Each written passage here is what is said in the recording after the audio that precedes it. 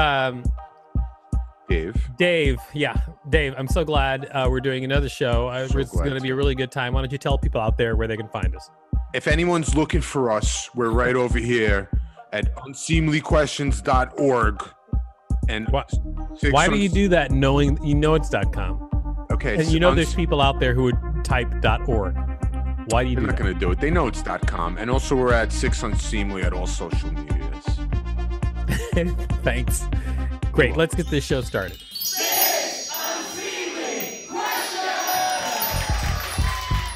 Welcome to Six Unseemly Questions. I'm your host, Victor Varnado. This Oh, is yeah. my sidekick, Dave Rosinsky. We have a great contestant on the show today. Uh, ladies and gentlemen, put your hands together for Paul Barman. Yeah. Come on up, Paul. Oh. Hi, Victor. Hey, Paul. It's Hi. nice- so nice to see you again. Hey, It's Paul. nice to see back. you too, Paul. I miss you. Excited to How are have you, you on the show. Good. I'm I'm uh, top of the line right now. Dave's top of the line. We're Um, live, right? Good enough. Yeah, well, he's he's doing it. I mean, it's, it's happening and Living the dream, live. So I guess I guess that's good enough. Uh, we have great uh, studio audience today. Uh, please put your hands together for our studio audience: Nancy Kito and Marina Franklin. Welcome. studio Welcome audience. back. Welcome back. You're all wonderful. Uh, so, Paul, I'm going to tell you how the show works, and then after I tell you how the show works, we're going to get started. I'm going to ask you six unseemly questions. At the end of each question, I'll ring a bell if I like your answer, like this. However, if I do not like your answer, I will not ring the bell, and I'll tell you why. Regardless of how many bells that you get at the end of the show, I will give you five dollars if I decide that your appearance on the show is worth giving you five dollars. Yeah. yeah. Can I ring a bell if I like the question or not? Absolutely. Do you have a bell? I'm not even allowed to have Do- a bell on the show. Do you have a bell, Paul? Yes. Really? Let's hear it. What does it sound like? Ding! Okay. All right. My bell's like ding dong. My wife is home. Okay, Paul. If we're gonna be doing that, the whole. I don't know how the show's gonna go. To make this equitable. We'll see. We'll see what happens, Paul. Uh, Okay, all We're gonna start off with your first question. If you're ready. I'm ready. Okay, your first question. Uh, will you make up a rhyme about how cool I am? Definitely. Don't do it, bro. Why not? Because it's not true. But Yo, Victor Varnado is better than a liquor tornado. Oh, all right. totally makes sense. You know, I don't usually feel like I have to give people a bell, uh, but I feel like I have to, even though I got to be honest, I was not fond of that rhyme. But I will give you a bell. What were you What were you hoping for? um i was i was like hoping for like victor varnado. He's super cool. Anybody who thinks he's not has broken the rule. My rhyme is like a trillion No times one- better than that one. By the way, no one would ever say whoa that. whoa. Just because you Victor rhyme multiple syllables does you think that just makes you rhyme king? That in conjunction with the message. Also, Pretty you could, better on both levels. and Okay, then you know also you could, you could pronounce his name Victor Varnado. He's like a tornado. i wish i had not given you the bell with this argument that happened after it but i did so i'm gonna let it stand all right I'm defending can't take that bell on back, Brad. All the contestants who pretended they were here weeks ago. Victor Varnado is never cool, and if you think he is, you a fool. Oh, I like Marina's rhyme that's, pretty, better. that's great marina Only because Wow. it's accurate. It's very true. It- you should have been that great that cool in your episode that would have been amazing Well, you didn't ask her that question. I didn't. That is true. It's probably my fault. All right. So before we go on to question number two, Ball, Paul, I called you Ball. Yeah, ball. Hey, ball. You ready for question two? ball. Ball is Harmon. life. Uh, before we go on to question number two, can you tell people out there what you do? Oh, you've drawn a picture. I'm handing over the most aggressive trophy. Oh, My who's colleague. getting that? Who's getting that?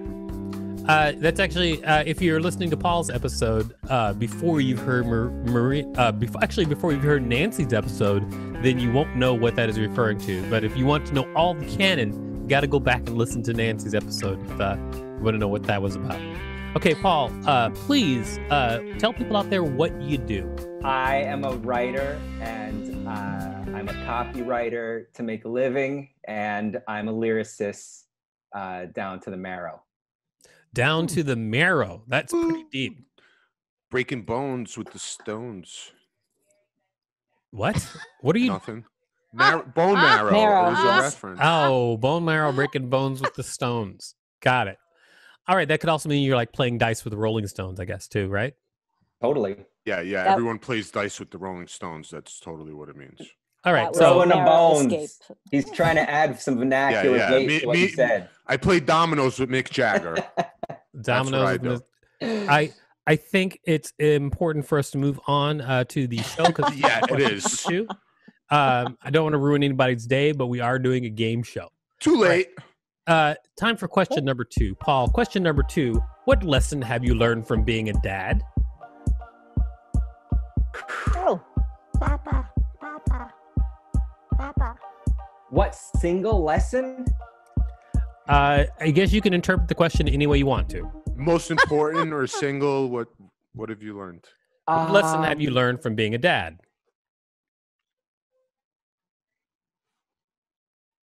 Well, let's see. Um, you know, my gut response, which I don't know if it qualifies as a lesson, is like you are occupied.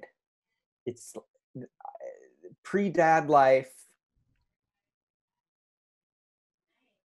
I mean, th- there's always ups and downs, and I suppose stagnation, which is probably the worst state you can be in, is still possible as a dad.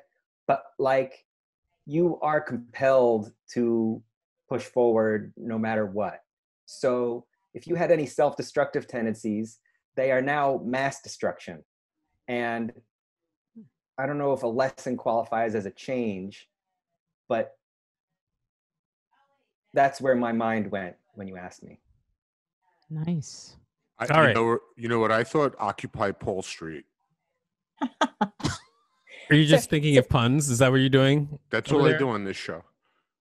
That's all I do. so I had a question because I've just met Paul for the first time. So you're a dad. How how I many have children two. and how old? 15 and 12 boys. Oh my God, teenagers. Wow. Lord, it's rough for them. I mean, Yeah. you know, I was excited to be Yeah. invited to this because this is like major socializing by quarantine standards. But the truth is, I I spent Yeah. my childhood and, well, whatever. i i got used to occupying myself and going whole hog into studying the arts that I wanted to emulate or whatever.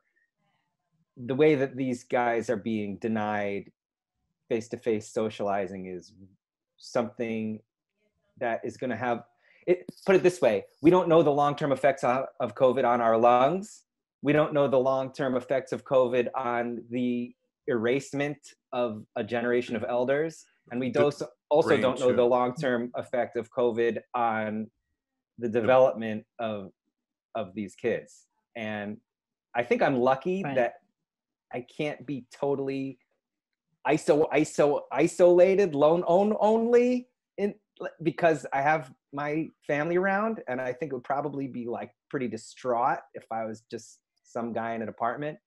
But on the other hand, it's Right. it's brutal.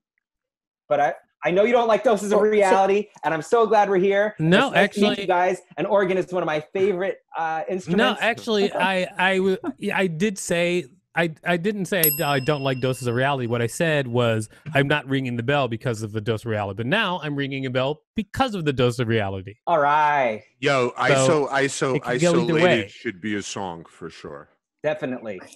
Well, and that it's was- difficult when your you, your kids are isolated with you because like you know i know growing up so like 30 years on my i said to my brother oh you remember the time we did this my mom's like you did what so you know kids need a chance to be away from the parents so that 30 years later you can say Yeah, yeah. Absolutely. Yeah. Well, I do TT Thursdays with my nieces who are teenagers. Every Thursday we do FaceTime. TT. Just so Yeah, that's Spanish for aunt. Not T oh, not titty. I didn't think it was titty because Yes, you you did. Said, Yes, you did. I I think thought it you was would have Throwback said. I think you would have said that if it was that. Victor So was I like, didn't know did you say TT meant." PP? Did you say I did not know hey this is a family oriented no No, TT Thursdays, just because I got nervous about exactly what Paul was talking about the socialization. So I want to make sure they're okay, that they have something other than just their teachers and their parents and their friends, but something like an adult.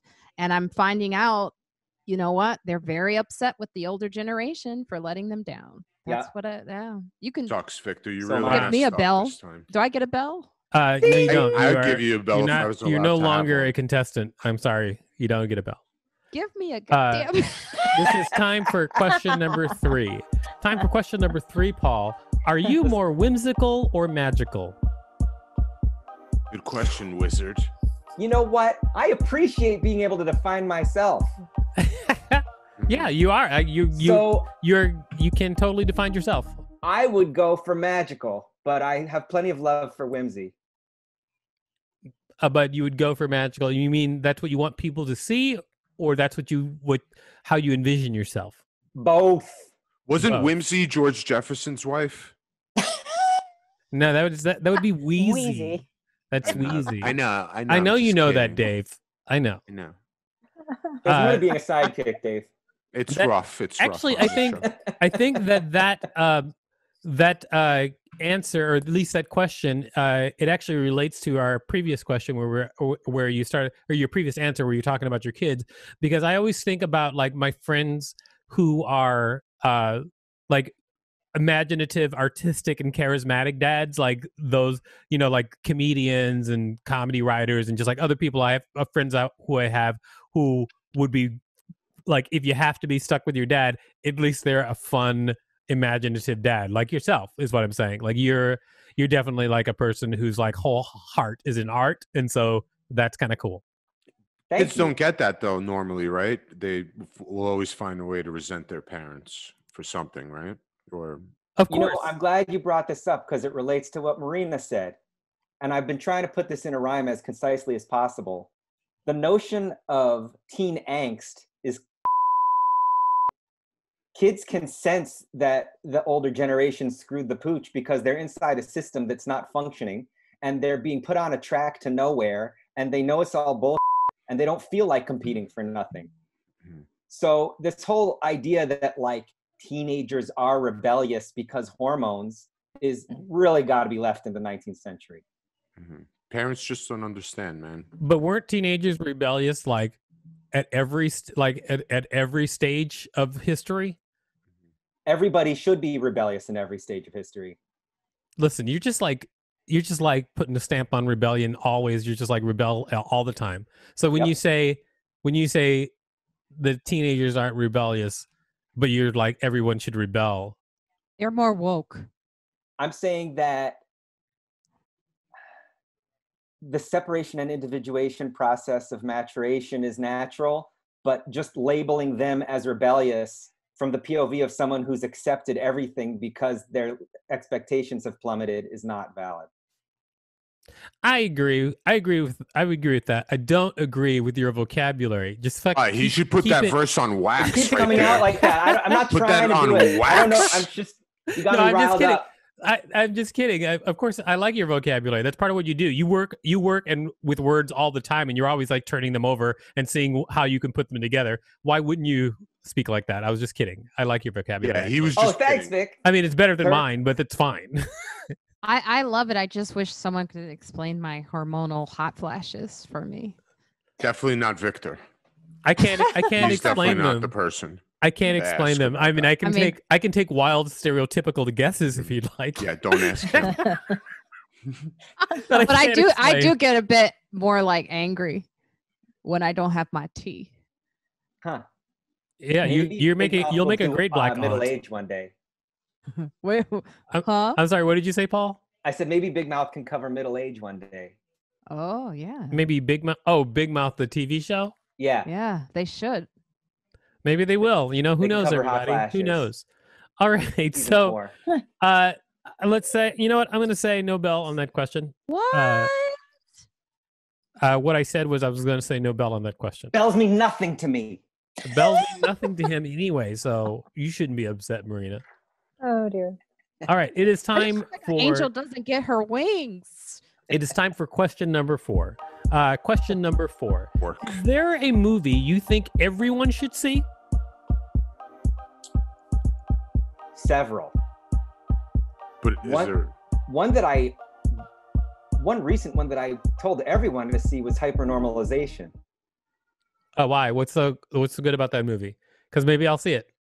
Well, it just seemed to explain the era that is hopefully winding down a tiny bit, but not really, that we got ourselves into. It came out like 2016 ish, and there was just basically the nature of disinformation was n- not so closely inspected yet. And that one was kind of like telling people it's hard for me to summarize and I haven't seen it in a while, but the the the idea that like algorithms are feeding off of bad feelings Mhm. and like if we're going to let ourselves go to that it's going to be bad was not really in the mainstream conversation when the movie came out and it's just very very interesting and um but there's so many great movies that everyone should see i mean the other one that i would instantly respond is verhoeven was quite prophetic in many of his films and I remember when one of my friends was like, Starship Troopers is just about like big gross bugs. It's trash. It's a B movie. When it came out, I was like, I, I couldn't, I could not believe how advanced it was. I'm gonna give you a bell because Starship Troopers is one of my all-time favorite movies, and I love Paul Verhoeven. Love him. So much. Love him. Yes, like he's all of his stuff is great. I even love Showgirls. Oh, Me too. Oh. I love Showgirls. It's so crazy. You loved Saved by the Bell also, clearly. Clearly, What, because what are you even talking about, Dave? Oh, Saved by the oh! Bell, the person who was in Showgirls. That's what I'm talking about. You and your Yes. bell. She was in Showgirls. Marina thought it was a whole Ah. different thing. She was I did. it. I thought it was a dig, and I was like, yeah. but you didn't. but it doesn't even make any sense. It didn't. And you were just going. You were just going. I was for just it, like, though? yeah, get upset about it. Yeah, get mad, bro. yeah, Saved by the Bell. Ah. All I kept thinking about was monoliths popping up everywhere in Space Odyssey 2000. Yeah, the aliens are coming, man. This is it. Oh yeah. All right, it is time for question number five. All right, question number five. When was the last time you had to forgive someone? Such a hard thing to Good question. How come I So didn't get questions like this? What You you had- So hard. You had great questions. I mean, Her myself face. All the time. Oh yeah. Um, Do you say sar- s- sorry like a Canadian to yourself? I will now. Who's Sorry Canadian? About that. So yourself all I the accept time. my apology. Why? Do, why do you? Why do you say that it's yourself? I really hate Thanksgiving and I can't intellectualize myself out of it. And I just white knuckle through it in a very foul mood. And right now, I know I do it every year and I know I'm going to do it. I'm going to try to be different next year somehow, which requires me to forgive myself for always doing it. Okay. I feel like I. I feel like if I were going to answer that question, I would also say the same thing that it's like myself who I have to forgive the most often because I'm always doing things and then and then immediately being like, why are you doing that? And then have to be like, okay, okay, pull it together. It's all right, all right, move on. Don't do that again. this is how I talk to myself. That's 2020. Every, all of us have done that. That's like perfect for 2020. I, I forgave myself a thousand times the other day for looking at my ex on TikTok. He's So, uh, he's not 12, by the way. He's not. He's of age. He's age appropriate, but I had to go on there and look at him because he, he used to be a model. Um, but yeah, anyway. That's so funny think it's because I equivalent. Uh, sorry, I didn't mean to speak over you. That's Victor. okay. Go ahead. Um, I think of Fortnite and TikTok as kind of of the same age group. Yeah, when- You're, you're really doing it, Marina. Yeah, I do TikTok and Fortnite. Yes, I do. Whatever you. it takes. But I apologize to myself for all of it. I it's think that 2020. I think you that don't have because to say sorry. because you said that it may may be interesting because uh for, for me because you said that it it lets me know that maybe you don't know as much about Fortnite as you think you know because it's bigger than most people think. It is like Fortnite is like a social media destination. It's Oh, not really? just a game. yeah, it's Yeah, like let's go like- hang out in Fortnite. Like it's a they hang it's a social it's a social destination. Do people hook up on there? Sometimes you can. I mean, that's the now problem. you're interested, Dave. You can. I mean, there. I I've, might we've- have to download an account. every now and then you'll have a a kid that comes on when you're playing squads and you'll hear like the mom in the background going, What I tell you about getting on? Get off that damn thing. So, you know. uh, great information, Marina. Thank you. You are very welcome. Thank you, Maria. Victor, get Uh, off that damn thing, Victor. I thought that was an interesting conversation, so you get a bell on the question. All right, uh, it is time for. it still means nothing to me.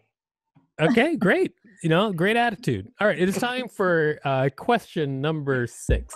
Question number six. Finish this lyric.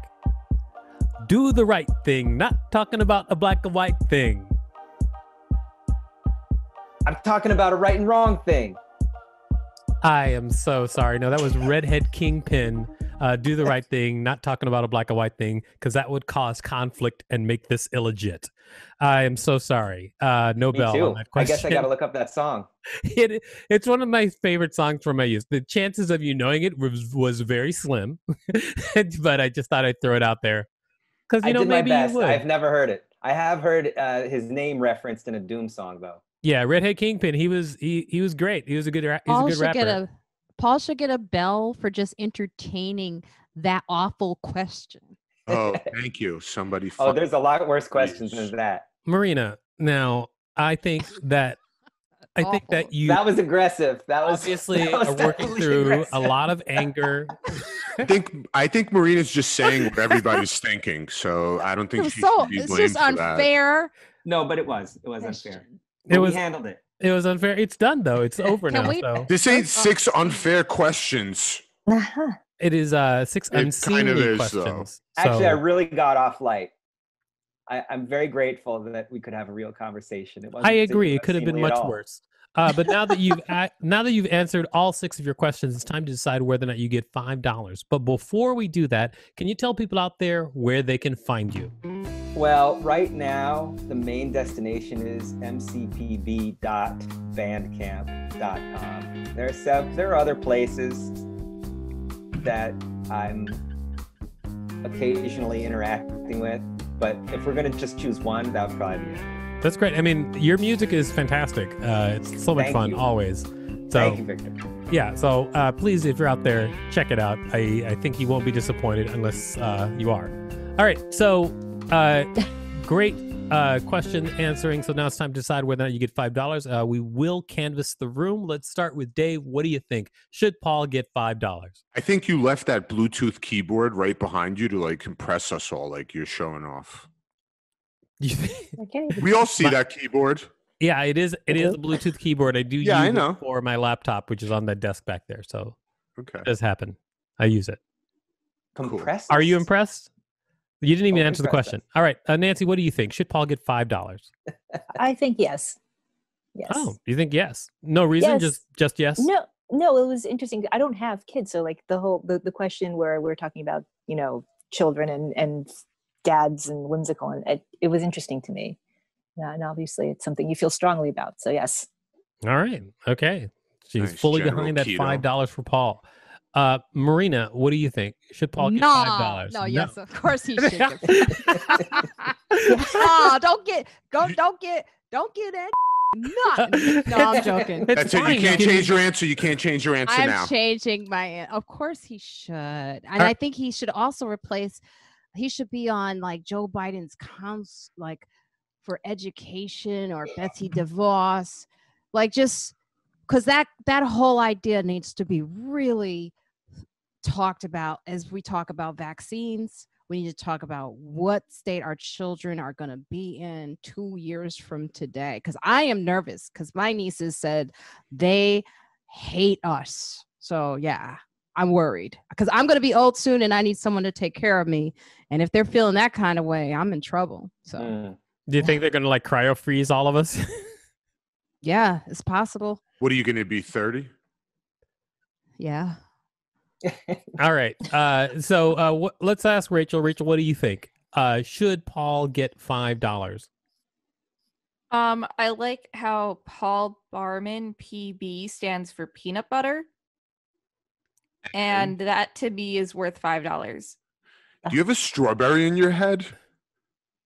Yeah, Okay. What? it's not real. Looks delicious though. it does, right? Yeah. All right, Yeah. Rachel. Thank you. You were almost helpful this time. Uh, we'll see you Almost. later. Doesn't count. God. Yeah, she throws up the peace sign before she disappears. That's how she does it, everybody. Yeah, and then she goes and eats her plastic strawberry. All right, so right. uh, the only person left to ask about it is you, uh, Paul. What do you think? Should you get five dollars for appearing on Six Unseemly Questions? Why not? Yeah, why not? Well, I mean, you were yelling uh, five. Uh, you're yelling. The bells mean nothing to you. You were yelling that the whole show, That's which is. I would say, an unreasonable way to be on a show where you are a guest. I, don't was think he doing was yelling. Yeah, I wasn't. Yeah. I, I feel like What, oh, him. oh, now you're both trying to gaslight me. no, I feel like I feel like Paul. I was yelling. I feel like Paul trying to understand know the what? rules You know, the is decision has been made. No five dollars. How dare you gaslight me on my own show? yeah. How dare you? I think was he was just there. passionate. There's a difference between passion Hmm. and yelling. Uh, Trying thank to raise you, my Maria. position comes at a cost. Uh, I will say this though, uh, it was it was great having you on the show, and I really you, Victor. appreciate you being here. My pleasure. I I didn't enjoyed get your that. appearance. Uh, I, you got It something like you that guys, though. Not exactly that, Marina. We got something like that. Marina, we said he said something nice, right? Or no? Yes, I definitely did. I, I say something nice about We'll everybody, no matter videotape. no ma- even if they're like you, Marina. I say something nice about Whoa, everybody. whoa, whoa, whoa, whoa! whoa! It's part of the rules. Say something nice. Yes, no, that's is. definitely It not is part, of the, rules, on this show. Uh, so, uh, Dave, uh, yeah, what Dave. did you learn from this week's show? I learned that you called Paul Ball once. Um, I learned that um, you didn't like Paul's rap about you, which I, I thought it was pretty good. Ah, okay. I, I liked Hi. how uh, you you were on the internet. It's almost over. It is Wanna almost come, over, wanna come Ball. meet the people. Ball, bring him on. Ball, bring him on. All right. yes, Guest Uh, starring. Well, then, everybody, I should tell you that you can find us at unseemlyquestions.com and Six Unseemly on all social media. Thanks, everybody. Great show. Yay.